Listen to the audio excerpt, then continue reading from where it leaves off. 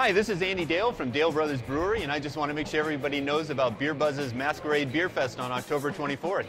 And as a matter of fact, it turns out the guys from Rok House called us out and wanted to know if we could make a wheat beer for the celebration.